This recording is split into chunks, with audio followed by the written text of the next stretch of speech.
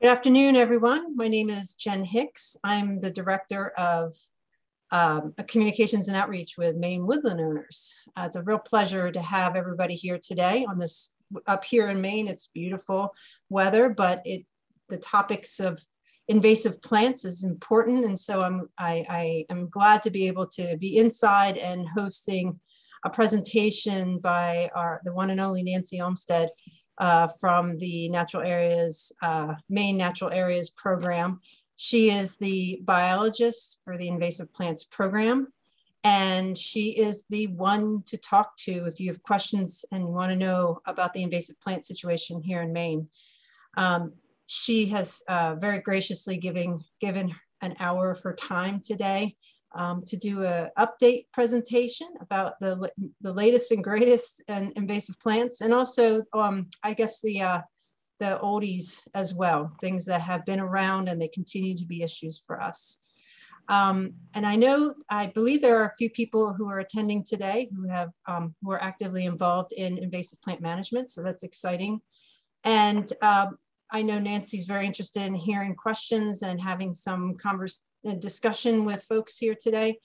I would say that um, the best way to go so we can get, so Nancy can get through her presentation is if you need some clarification during her presentation, that's just fine. Go ahead and type questions in the chat feature, or you can turn your um, video on. I will be keeping track of uh, everybody as she's doing her presentation. So I'll, I'll see if anybody's got their hand raised, turn on your video and raise your hand.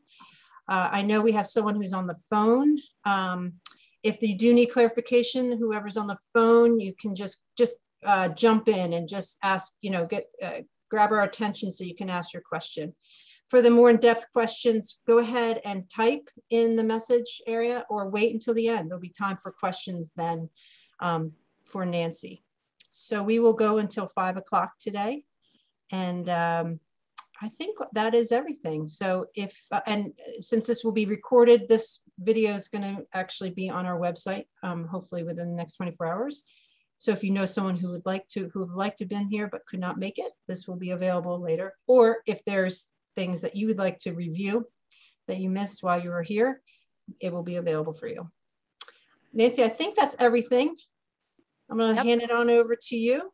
Okay. And again, appreciate you being here um, and the floor is yours. Wonderful. Thanks so much, Jen, for the invitation. And thanks everyone for uh, coming inside or at least uh, getting close to your screen on this beautiful day. I'm going to give you today some updates about invasive plants. Like Jen said, some of the new plants that are known uh, in Maine. Uh, point you to some resources for helping to identify and address invasive plants and talk about a couple of the new projects that we have going on here at the Maine Natural Areas Program. So um, as uh, Jen said, I work at the Maine Natural Areas Program. We are part of the Maine Department of Agriculture, Conservation, and Forestry. And our mission is really to help conserve Maine's natural heritage. So uh, part of doing that is helping to uh, helping people deal with invasive plants, which are a threat to those uh, treasured natural habitats and features. So that's my role and I'm delighted to speak with you today. So I'm going to get right into it with some of the new invasive plants and not yet widespread invasive plants. I have a handful of these to cover uh, before uh, that as the first part of my presentation.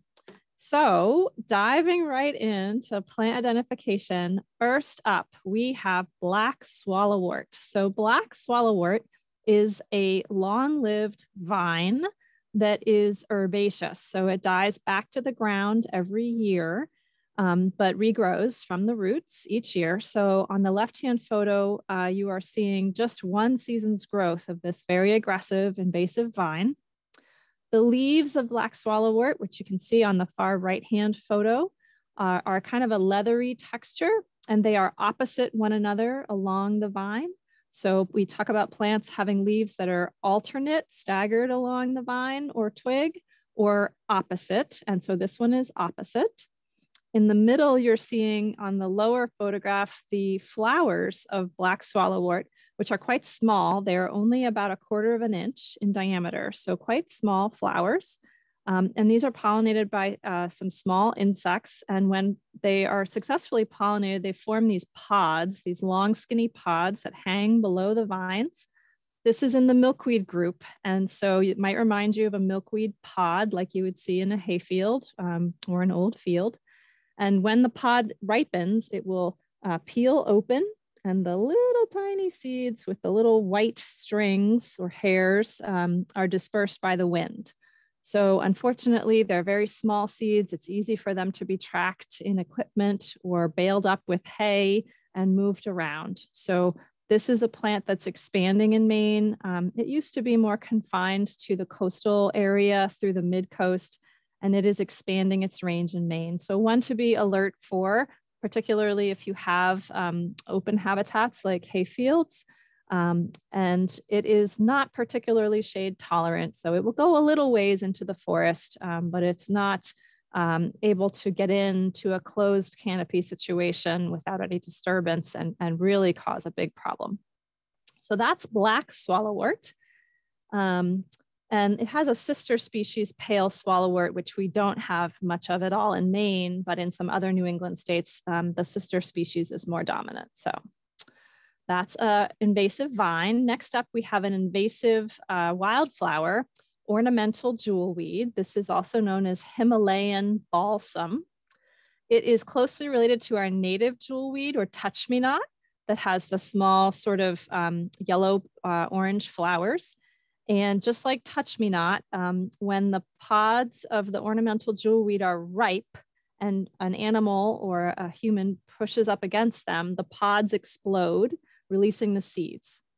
So this is a plant that uh, spreads in streamside areas by movement of water. Um, as you can see from the middle photograph, it really can form very dense stands. It's a tall plant, or at least it, it can be tall, I would say generally from three to five feet, uh, with these um, pink flowers that are about an inch or an inch and a half um, from top to bottom. The leaves of the ornamental jewelweed are uh, opposite or whorled, meaning um, three or sometimes four at a single point. And they're very um, uh, toothy on the edges. You can see in this photograph the sharp teeth along the edges of the leaves of the ornamental jewelweed. Uh, so this is an escaped um, uh, horticultural plant and um, unfortunately can form these really dense stands in, in uh, streamside areas. So that's where it's a major problem.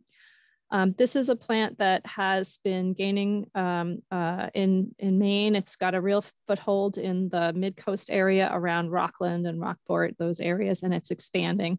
So again, one to keep a close eye out for, especially if you have any creeks or rivers on your property. Next up, we have, uh, we're back to vines. We have mile a minute vine, and this is not yet known in Maine. So we're hoping to keep this out of Maine with good uh, eyeballs into the natural world to be monitoring for it. This is a annual vine um, that has these sort of triangular leaves and very uh, unusual clusters of blue fruits that form at the tips of the uh, vines. The vines have barbs or very small thorns on them. And another unusual feature are the round um, ochrea. They're little leaf-like structures that occur at the base of the leaf stem where the leaf attaches to the vine. So that's quite distinctive. Um, a very sort of uh, equilateral triangle shaped leaf and the funny little round, um, uh, they're really modified leaves, funny little modified leaves that are round where the leaf attaches to the stem and the uh, bright blue colored fruits. Uh, the far right-hand picture is showing how aggressive this plant can be. Again, this is an annual plant, so it grows from seed every year. So this is just one year's growth, kind of sprawling on this um, planting and, and covering it up. So very aggressive growth with some hooked um, uh, little barbs along the stem. So we're trying to keep this one out of Maine. Um, and if you detect it, if you see it, we'd love to have you report it. Um, and I'll talk more about reporting in a little bit. Okay. Next, we have a grass. So this is stilt grass. Um, this unfortunately has been detected in Maine for the first time last year. So this is a shade tolerant grass that can invade the forest understory. So we're very concerned about this grass. On the left-hand photo, you'll see a close-up of the uh, grass and the leaves. This is uh, my hand in the picture for scale. So the leaves are between, generally between two and four inches long. They are alternate along the stem and they have a silvery midline or midrib, it's sometimes called.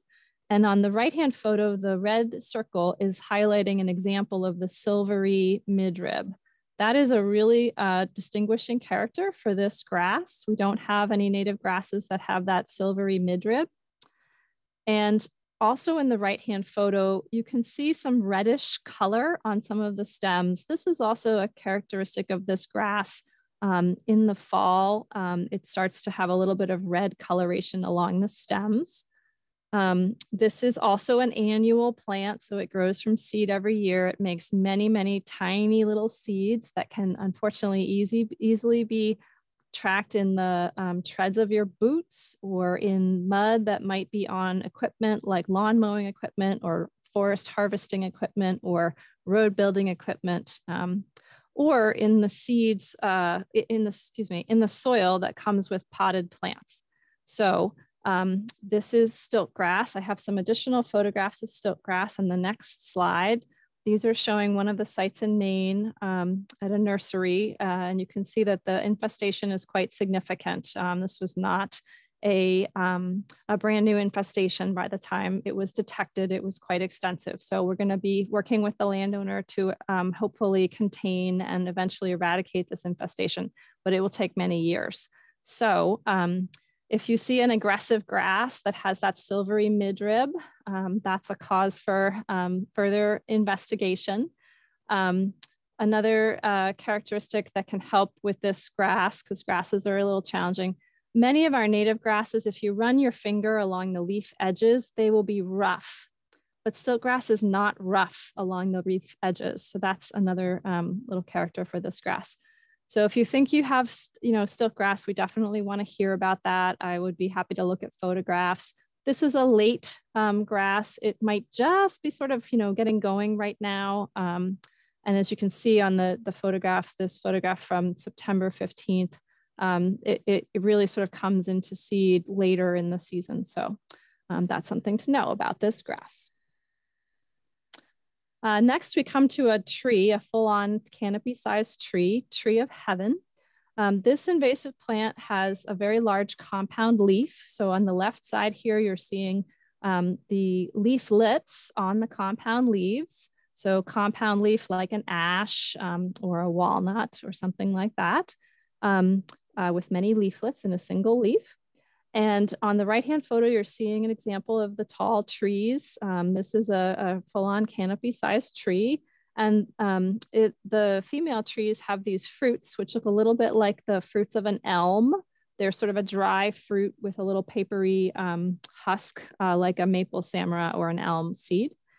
In clusters like that. If you drive along 495 in Massachusetts at the right time of year, you'll see many of these uh, groups of tree of heaven with the clusters of seeds. They can be distinctive. I have another a set of photographs here of tree of heaven showing a close up of the base of the leaflets because um, the leaflets of tree of heaven have smooth edges except at the base where they have a couple of little bumps. Uh, you can see them sticking out from the leaf. And these have little glands on the underside of the leaf. And so that's a helpful character.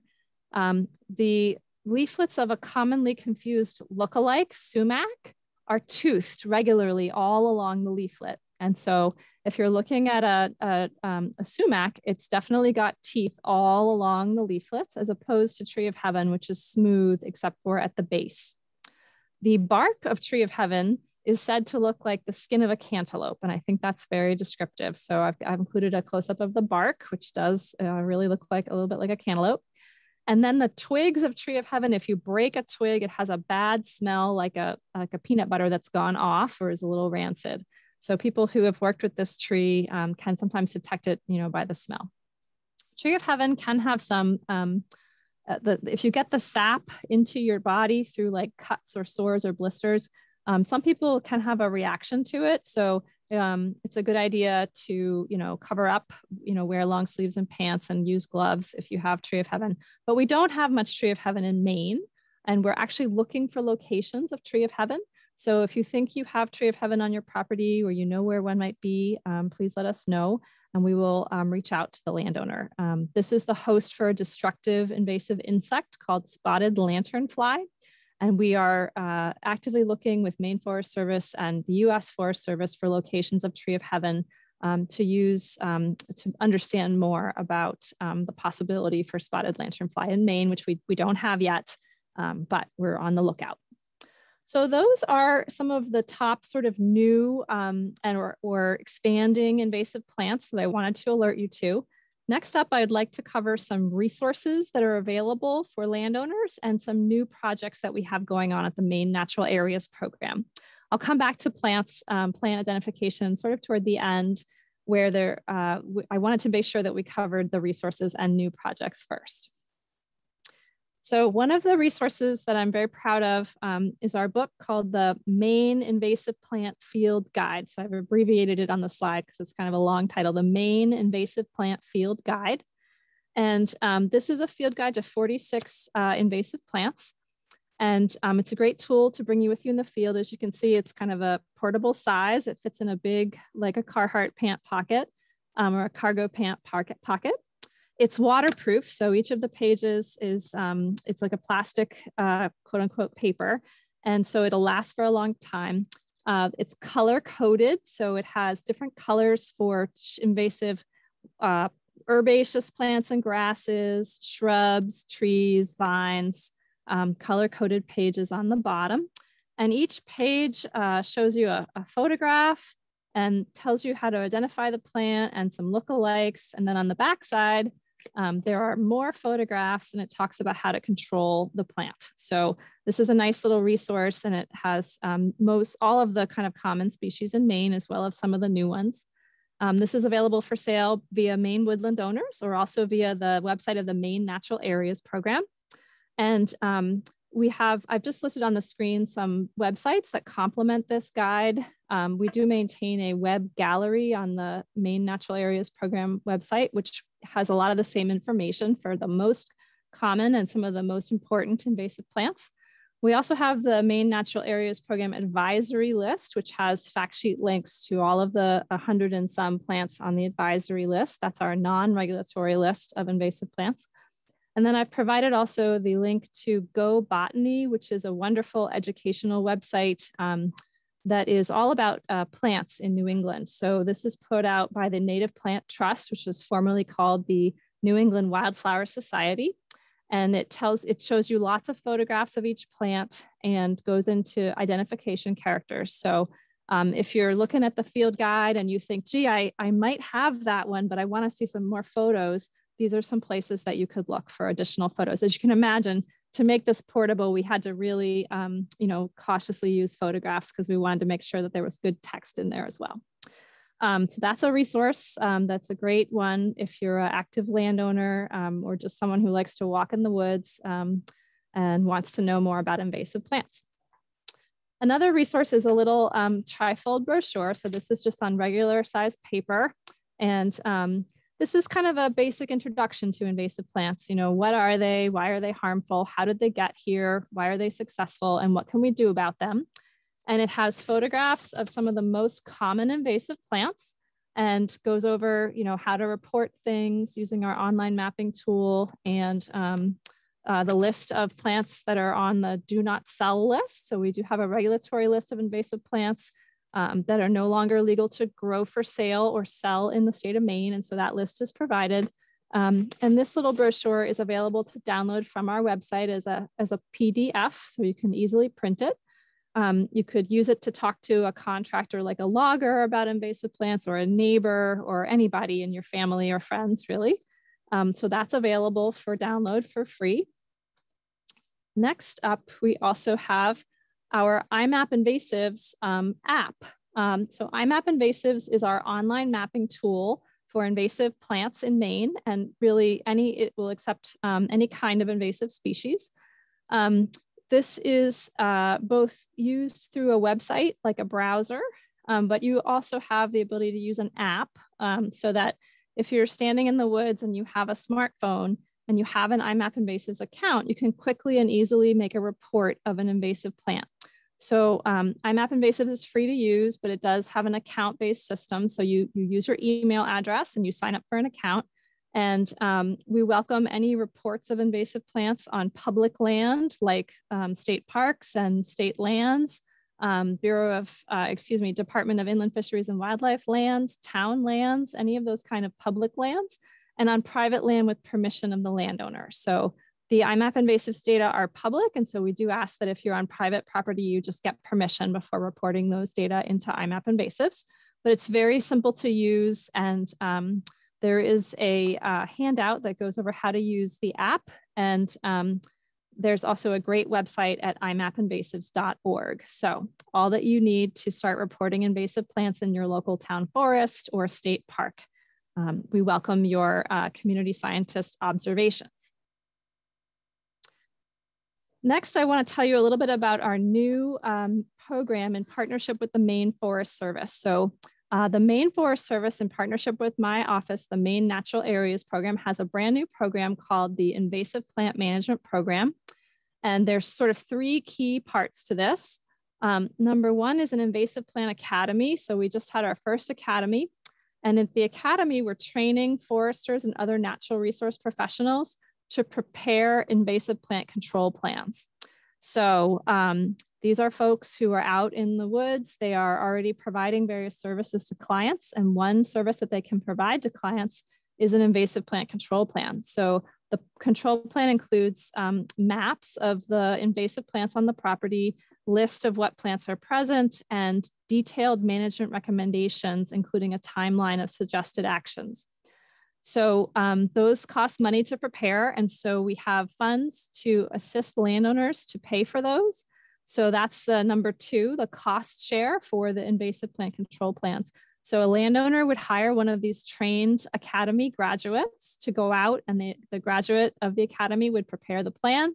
The landowner would pay the plant, pay for the plan, and then the Maine Forest Service um, it gets a reimbursement to the landowner for up to 50% of the cost of the plant.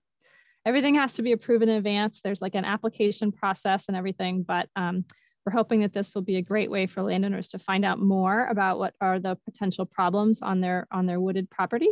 So this is for um, owners of woodlands uh, between 10 and um, 1,000 acres in the state of Maine.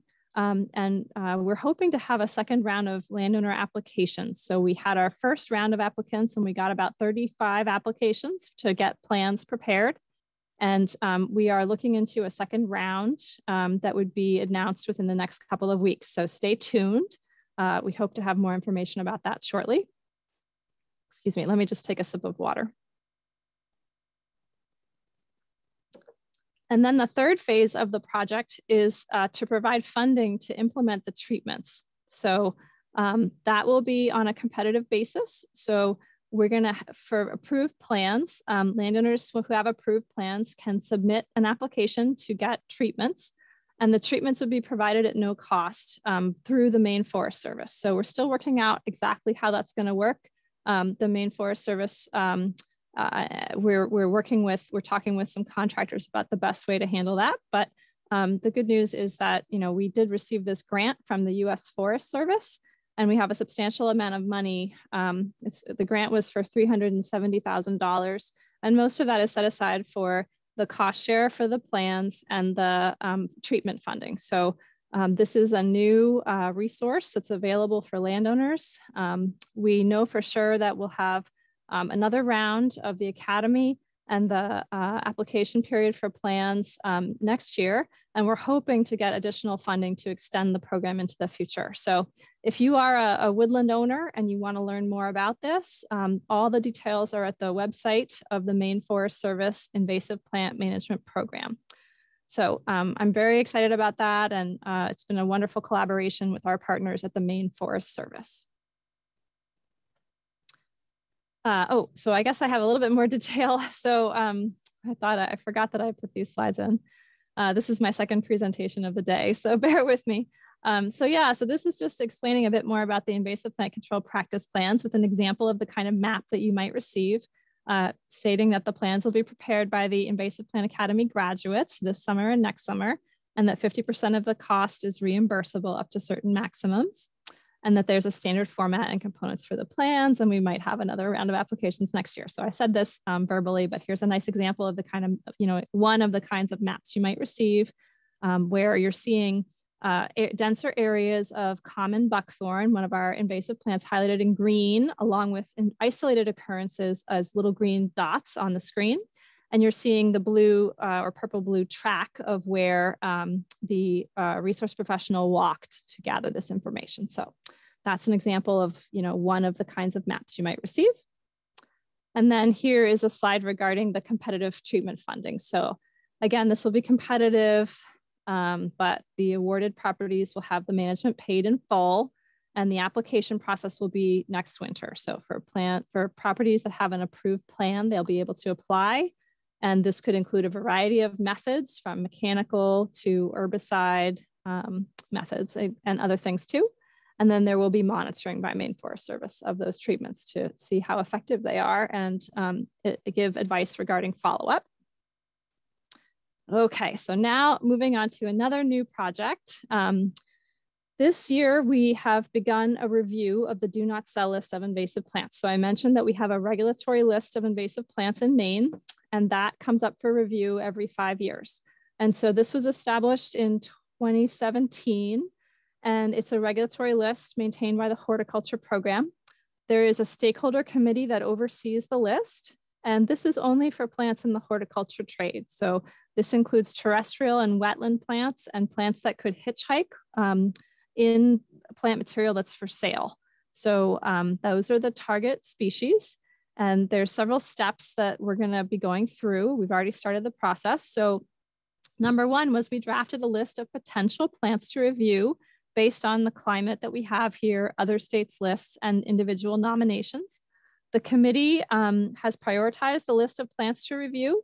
Uh, right now, uh, my, some of my staff and some of the um, horticulture program staff are reviewing the scientific literature to evaluate the plants against criteria that are established in, in rule. Um, the committee will be reviewing the results and providing feedback and making recommendations this fall. Then we'll have the proposed revised do not sell list. There will be a public comment period as part of the department rulemaking process where we will receive comments and respond. And I should say this is all really overseen by the horticulture program by Gary Fish, who's our state horticulturalist. And then um, the horticulture program will get uh, reviewed by our commissioner and, and finalize and publish the uh, revised do not sell list as part of departmental rulemaking. So it's a quite, quite of a formal process um, once we get into the rulemaking process itself. But right now we're in um, step three, where uh, we are gathering scientific information to provide to the committee about each proposed plant. And we have a big list of about 80 plants that we are reviewing. So obviously not all of those will be listed, but uh, we are in progress with collecting information about all of them so that the committee can learn more. So that's a big project, um, and I'm delighted I've got the very capable um, staff who are helping with that project. Another new project that we have going on this year is a survey for perennial pepperweed. So perennial pepperweed um, is a plant that is of top concern in salt marshes and beaches. This is only known from a handful of sites in Maine, um, but we want to keep it that way. So biologists in Massachusetts spend a lot of resources trying to control this plant in salt marshes and beaches. Um, salt marshes are home to some rare birds, um, and so are beaches. And so this is very damaging for the habitat. As you can see in the photograph on the left, it can form very dense stands of almost nothing but pepperweed. And so it doesn't provide suitable habitat for our rare birds that nest in the salt marsh. Um, and same thing on beaches, it can form um, not quite so dense stands, but still it can displace the native plants that would normally occur there. So um, the US Fish and Wildlife Service has funded the Maine Natural Areas Program uh, to hire a team that to go out and survey for perennial pepperweed in Maine. And we'll be surveying around known locations as well as targeting the specific habitats that pepperweed is known to infest. So this is primarily in York County this year. Um, and if we get uh, additional funding, we might be able to expand the survey next year. So this is another new project that um, we're overseeing uh, this season. And on the right-hand photo, we're just showing a close-up of perennial pepperweed. So it's in the mustard family. It has a four-parted white little tiny flowers. So um, that's my hand in the, in the photograph holding the stem. So you can see the flowers are very tiny, but when it's in bloom in July, it can be conspicuous and it, it's easier to detect. So the peak of the survey will be occurring um, for sort of the uh, July 1st through um, July 15th time period. So um, that's a new project that's going on this season. Not so much of a concern in woodlands, but I wanted to keep you up to date on uh, other invasive plant projects. So with the remaining time that we have, I'm just looking, it's 4.30. I wanted to cover invasive plants that are widespread in Maine and of top concern to the forest. So in addition to the, the new plants and um, expanding plants that I covered at the beginning of the talk, I want to turn now to the plants which are um, here and widespread and of top concern in the forest environment, because obviously our audience today is very concerned about the health of the forest, as am I, and as are most Mainers, because we have a lot of forest and it's a wonderful resource. So Asiatic bittersweet vine is a real problem for our forests. This is a tough woody vine that's long lived and it can strangle and girdle the trees. So in the middle photograph with the very thick vines, you're seeing how aggressive and, and large these vines can be. Um, these uh, vines can climb high into the trees. As you see on the right-hand side, those yellow leaves are um, Asiatic bittersweet in the fall. It turns that yellow color and it's easy to detect at that time, even when it's high up in a pine tree, because um, obviously the color stands out. It can also be detected when it's in fruit um, because it has very colorful fruit. So these are a, a, a sort of a dry reddish um, fruit with a yellow capsule that opens up. And so they are very colorful. Um, but uh, they are bird dispersed. And unfortunately, that means they can sort of hop around the landscape and come into the forest. Even a, a nice intact forest can become infested if birds carry the seeds into the forest. On the left-hand side, you're seeing a close-up of the leaves and some of the uh, unripe fruit. So um, the leaves of bittersweet can be sort of variable in shape. Sometimes they're long tapering and they have a pointed tip, like a couple of examples that you see here. Other times they're almost round in shape. So the leaf shape can be variable, but they always have teeth along the edges, sort of small, shallow teeth. Excuse me. It's allergy time of year. So if you hear me sniffle, um, that's what's going on. And they are alternate along the stem. So Asiatic bittersweet has alternate leaves with teeth. And um, the fruit of Asiatic bittersweet occur all along the vines. They do have separate male and female plants. So sometimes you might have a plant that you never see it fruit, even though it's a big vine, and that one could be a male plant. So they still make little flowers that obviously have pollen that's released, but they don't form fruits because they're the male plant. It's kind of unusual in plants. Most of our plants have both male and female flowers on the same plant um, or in the same flower, but this one has separate plants. So that's Asiatic bittersweet, unfortunately very widespread in Maine and a real problem in the forest. Autumn olive is a shrub, and this one is not as um, shade tolerant as a bittersweet vine. Bittersweet can get growing underneath the canopy. Autumn olive prefers edges or full sun. So this one can get in along forest roads and trails, um, but it's less common to find it in the middle of the forest unless you've had a recent harvest. Autumn olive has alternate leaves along the twig, and they have silvery scales on the surface of the leaves. So um, they almost have a silvery sheen to them. And um, uh, when I travel on 295 between Augusta and um, Bowdoinham, I can see a lot of autumn olive along the highway, and I can detect them just because of the silvery sheen on the leaves. In a breeze, uh, they're sort of like waving to you, like, hi, here I am, Nancy. So that's autumn olive.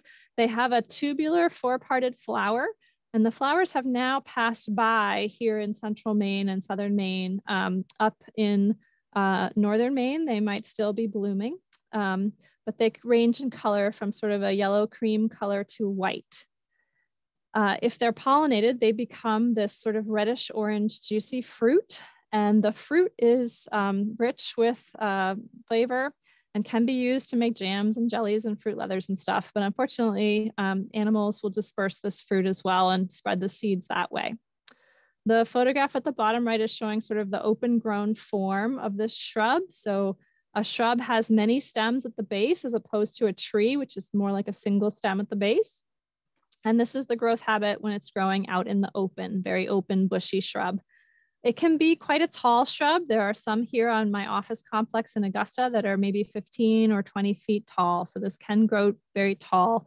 Um, and there can be thorns on the twigs of autumn olive, sometimes like an inch long, very stout thorns. So this is autumn olive, one of our invasive shrubs.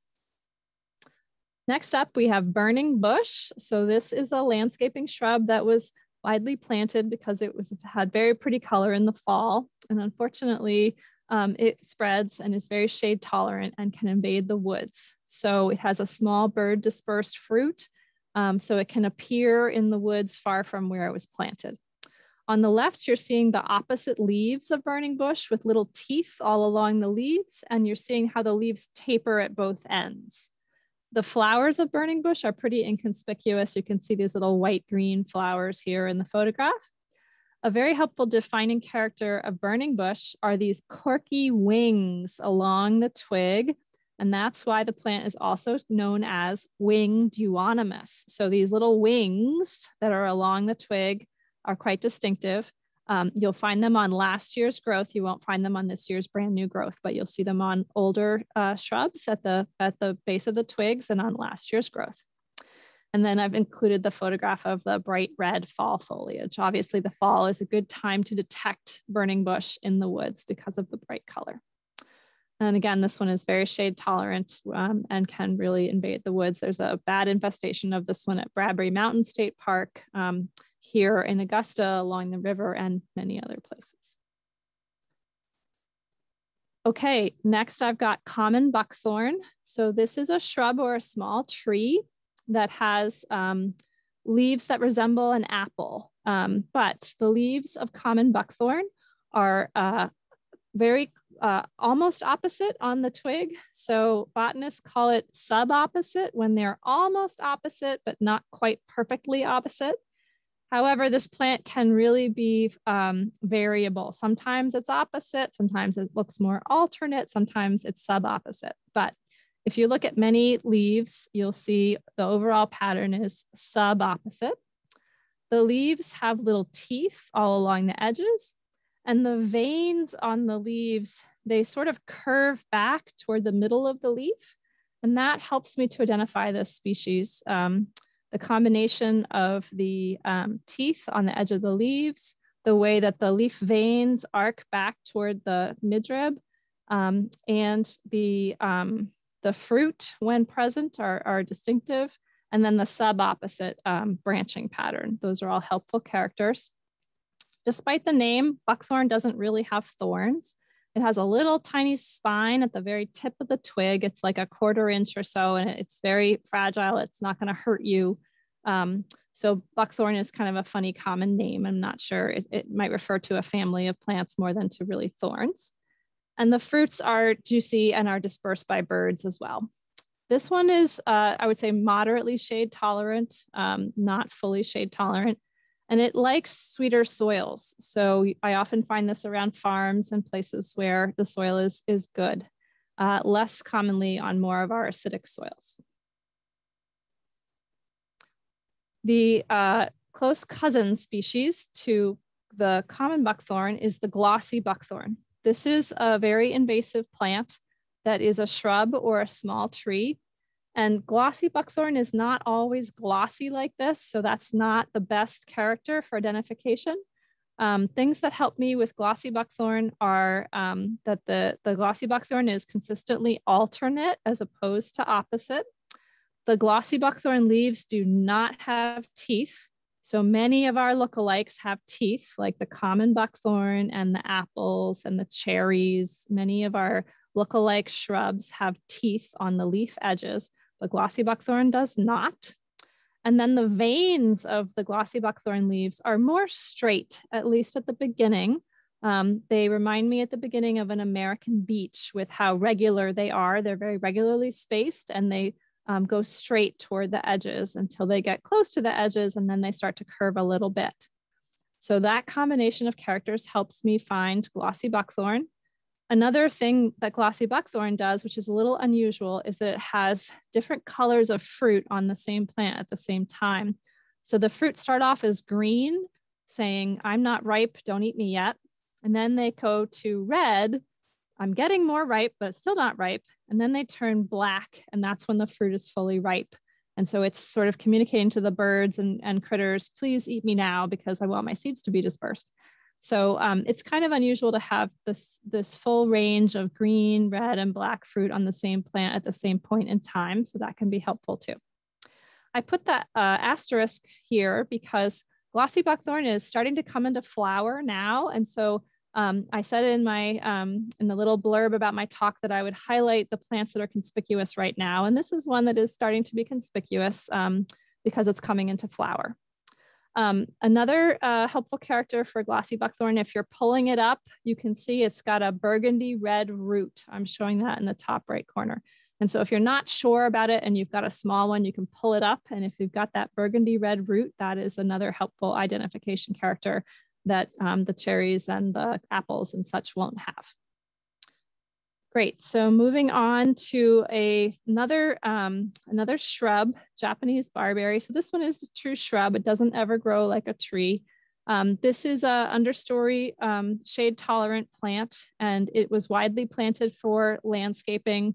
People would shape it with hedge trimmers and use it as a living fence because it's very spiny. There are spines all along the twig um, at the base of the little bunches of leaves. It has sort of small leaves, about uh, an inch or less long, and they have they form in little clusters along the twig. It reminds me a little bit of a tamarack or a larch in the way that the leaves are sort of bundled. Um, and the uh, the ornamental barberries can have a variety of colors. So you can find some that are purplish, some that turn red in the fall, um, some that turn yellow.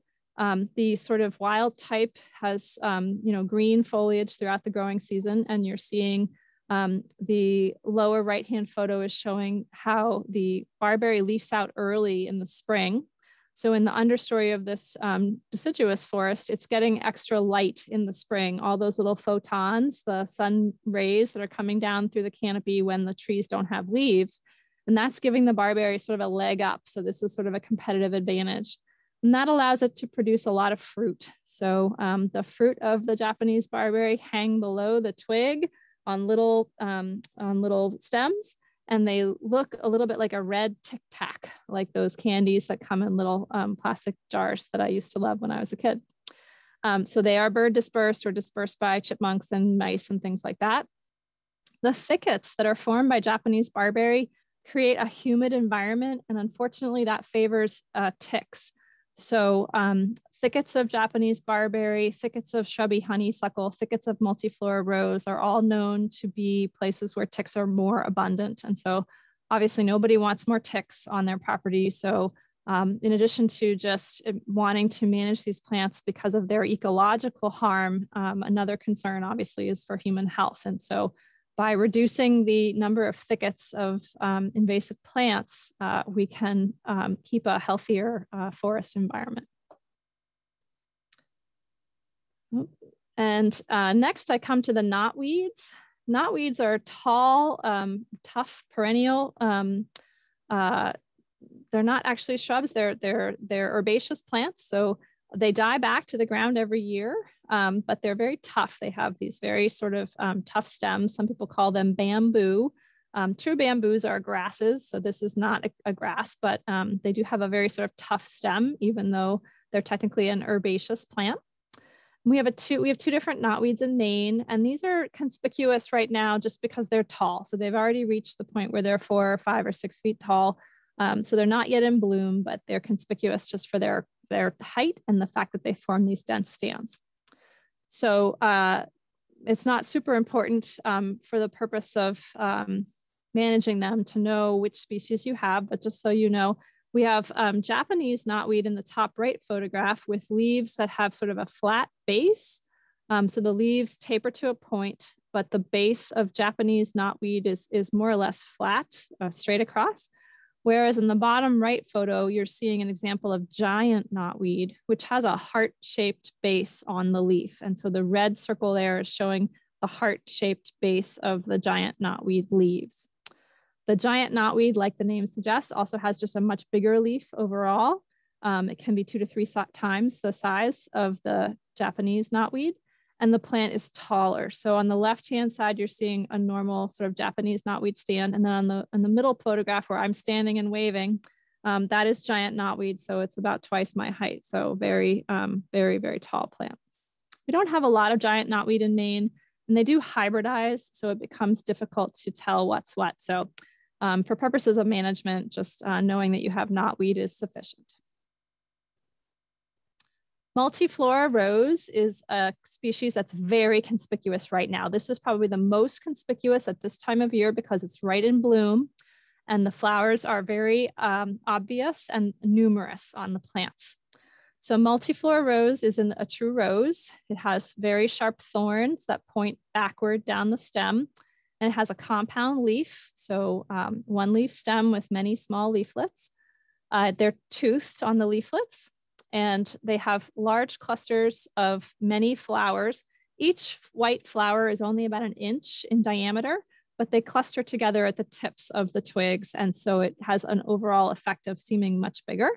These are right in bloom along the highway right now and side roads. So as you're driving around the Maine landscape, um, and if you see a, a big um, shrub that has many, many white flowers right now, it could be multiflora. Um, it is a shrub, but sometimes I see it growing almost like a vine, um, sort of high up off the ground. It can kind of let, trail on other plants and kind of um, get up higher by doing that. It doesn't have any tendrils or sort of um, true vining parts, but it can occur quite high up, maybe 25 feet above the ground um, in some cases by sort of layering on top of tree branches or, or tall shrubs. Uh, the red circle at the lower left is uh, demonstrating a helpful identification character of multiflora rose, which is the fringed leaf stalk. So where the leaf attaches to the stem, there is a little comb-like fringe on that leaf stalk. And none of our native roses have that. So if you know that you've got a white flowered rose and it's got the fringed leaf stalk, that's a multiflora rose. And unfortunately, this was spread around because it was the grafting rootstock for many ornamental roses. And so um, maybe some of those um, rose uh, grafts were more fragile and died back, but then the roots, the, the multiflora rootstock persisted and became invasive. So that's why this is so widespread, unfortunately, in Maine and other places. And I should say multiflora rose is pretty shade tolerant. So I put this in the same group with the shrubby honeysuckles and the glossy buckthorn and the Asiatic bittersweet. It can get right into the understory of the forest and be aggressive and, and grow um, big patches, even in the forest understory in the shade. So coming to the shrubby honeysuckle is another one of our very common invasive plant species. Um, the shrubby honeysuckles have opposite leaves and the leaves tend to be hairy. So you can sometimes see it with the naked eye, how hairy the leaves are. We have a couple species of invasive shrub honeysuckles, but again, for ecological purposes, it doesn't really matter which is which. Um, you need flowers or fruits to tell them apart. Um, so we just call them shrubby honeysuckles. The flowers are irregular. They have these sort of leggy shapes with legs that point up and legs that point down. And they can vary in color from white to cream to yellow to pink.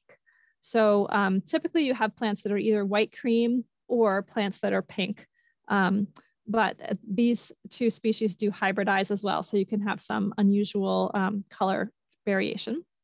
The fruits of the shrubby honeysuckles are usually paired, so they're in twos, and they are typically red, like I'm showing in this picture. I would say about 95% of the shrubs produce red fruit, and some shrubs produce orange fruit. So I would say 5% or less. Okay, my lights are turning off, so I need to move around so that the lights will turn back on.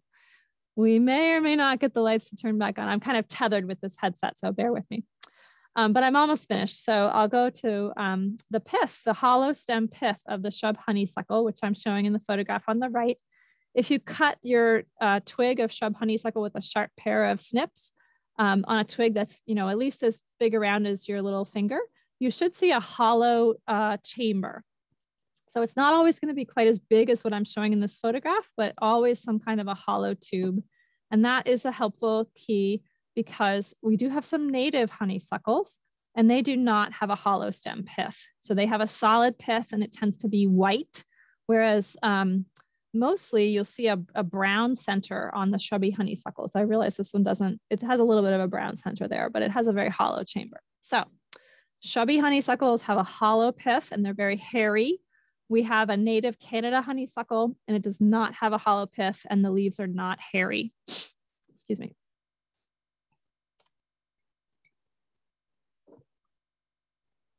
So I couldn't speak with a group of Maine woodland owners without um, talking with you about best practices for getting equipment on your property. So something that's come up over and over as I've talked with landowners and foresters and loggers and with my colleagues at the Maine Forest Service entomology lab, the insect and disease lab, is that invasive species spread on equipment. And so something that you as a landowner can do proactively um, when you have some kind of um, heavy equipment coming to your property is request in the contract that the equipment be cleaned before it arrives at your property. So, um, you know, for example, this feller buncher in the big picture, lots and lots of nooks and crannies on this equipment in the treads and in between the various parts of the machine where soil and plant material can get stuck, um, especially obviously if the ground is, is moist. Um, so there are just places where the equipment should be cleaned out when it finishes at the previous job site. And you can do that with a variety of equipment. It doesn't have to be fancy. So, you know, hand tools like shovels and um, hose, a leaf blower, um, and then, you know, getting more fancy as you go down here, um, compressed air, maybe even a pressure wash. If, if the contractor knows that that site was badly infested with invasive plants, then that might be a time when a pressure wash is called for so that there isn't the transport of invasive plant seeds or plant fragments like knotweed roots that can reestablish and grow a, a patch. Um, this is also just a good practice and it's kind of like good housekeeping like cleaning off your boat. You know when you when you move your boat from a lake to another lake um, you know you're required um, to clean your boat. And this uh, kind of a practice I, I hope will become standard operating procedures for when we move equipment around too, because unfortunately, um, you know, insects and um, diseases, fungal spores and little nematodes that cause beech leaf disease, we think, and um, hitchhiking insects um, like gypsy moth and um, brown tail moth, et cetera, can move around with the equipment. So uh, just as you, you as landowners can be proactive and request that your contractor clean the equipment. So I just wanted to put a plug in for that. And with that, I will um, show you um, my final slide here, which has my contact information and the logos of the various sponsoring agencies that help me to do this work. And it looks like we have a five minutes or at least four questions, and I'm happy to stay on a bit longer if folks have more questions. So Jen, I'll look to you for yeah. guidance here. Thank you so much, Nancy. That was so thorough. And, um, you know, it's kind of a go-to guide. We'll have this video up for a while so people can uh, have access to it so they can learn their plants. Um, just speaking on behalf of Maine woodland owners, um, one of our goals or, or, objectives as an organization is to help landowners feel empowered to keep, you know, their their forest healthy. One of them is knowing what plants you have in there, which ones are the good ones, which ones we have to keep an eye on. Um, Nancy's uh, point is catching things early so they don't spread, they don't get out of control. That's probably the best strategy is, is containment. Um, when you start seeing things, make sure they don't end up in uh, other parts of your forest. So I'll leave it at that. And um, this is, we have some time for some questions or comments. So again, you can turn your video on and raise your hand. You can just jump in and ask your question or you can type it into the chat. Who's got a question?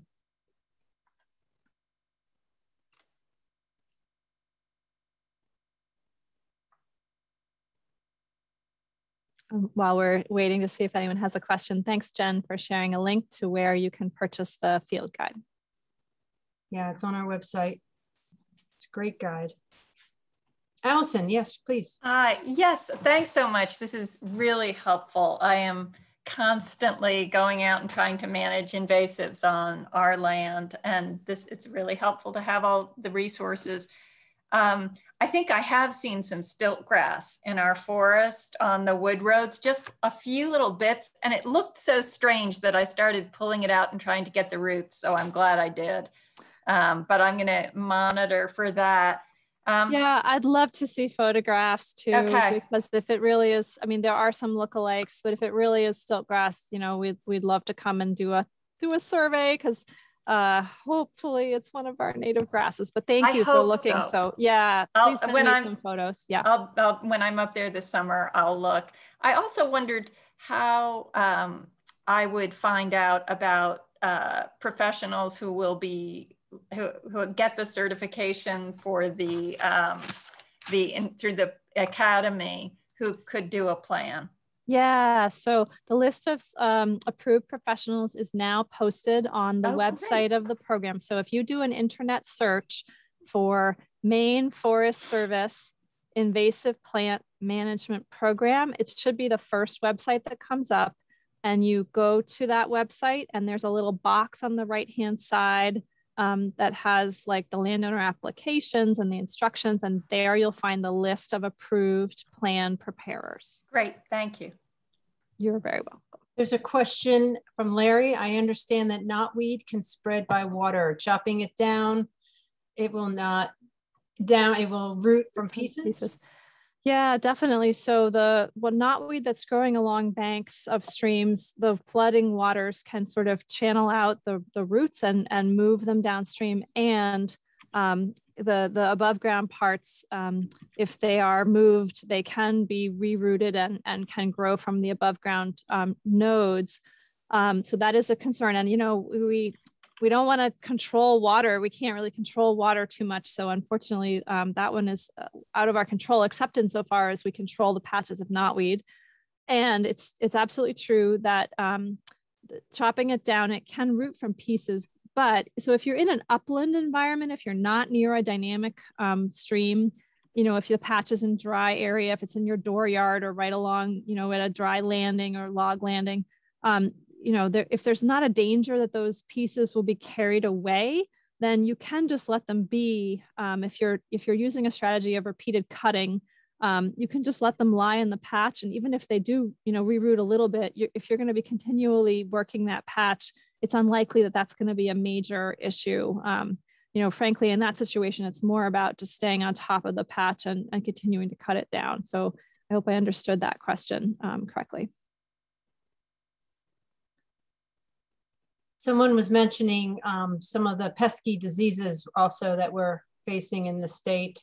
And I just, I want to put a plug in. I just posted a link uh, for our pest and disease uh, program we're doing in Raymond on Tuesday um, at, a, at one of our land trust lands. How So- exciting to be doing programs in person again, right, Jen? That's wonderful. for How sure. great. Nice we're to be able to touch and feel things. Yeah, so we're going to really hit on threats this this month for sure. And um, I just uh, yeah, so this will be that's a good next step is to know what kind of diseases and pests we're facing in our forest as well. Uh, there's a question from Larry. What about using Brush-B-Gon to control shrubs, etc.? Yeah, so there are a variety of herbicides um, that are available for landowners to purchase to use on their own property. Um, the label is the law, so you just have to follow the label very carefully, both to ensure your own safety and also to make sure that you are using the product in the way that it's intended and, and in the way that it will have um, you know, the least uh, harm to the environment. So none of these products are benign, you know, they're designed to kill things. And so we just want to be really careful and make sure that we're following the label. But there are a variety of herbicides that are effective against invasive plants. Um, and, you know, if you ever have questions, um, the Board of Pesticide Control is a great resource. The Maine Board of Pesticides Control can help you understand the label if there's something on there that seems confusing or, um, you know, if, if uh, so we do have information on our website, for example, and in the invasive plant field guide about, um, you know, what uh, herbicide active ingredients are known to be effective on the different species. Um, so that's a resource to help you choose a product, but then, you know, what concentration to use, um, the specifics of what sites are okay to use the compound. All of that information will be on the label of the product, and you just have to read that very carefully. Um, I keep all my labels in a binder and they're all highlighted and you know you really um, just want to be extra careful when you're using those products to make sure that you're using them correctly. We have someone on the phone and I wanted to give you a chance to jump in if you would like to say something, ask a question. No, I'm all set over here. Okay. I just, uh, Thank you. just took it off mute Yep, yep, I just wanted to give you a chance to with no jump in. purpose. Yep. Okay. Um, anybody else?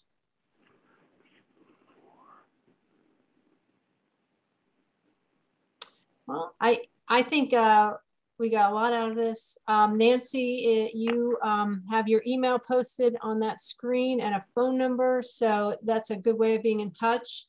And also the what's ailing my tree or uh, invasive, in, uh, invasive plant, um, forms are on the, um, Maine Forest Service um, website and all the other websites that um, Nancy has talked about. So um, the eyes and ears of woodland owners is vital for the Maine Forest Service Natural Areas program. And so if you find something that's que- with question marks, please send them along to the right folks. So hopefully that's something everybody can do. All right, well, I appreciate everybody's time today. Thanks Yeah. for joining us. Uh, again, Tuesday, we have our in-person program in Raymond, and then um, we won't be doing another uh, uh, video online program in July. We will probably resume in August. So check your newsletter and our website. And I hope you can join us for our in-person events in July. Um, they're coming up. It's going to be pretty great. So thanks everyone for your support. Thanks, and everyone. Being part of Maine Woodland Owners Thank you. program, and we'll hope to see you soon. Thank you Thanks, so Nancy. Take care, everyone. Thanks All for your thanks for your attention to your lands. Bye. Thank you so much. Thank you.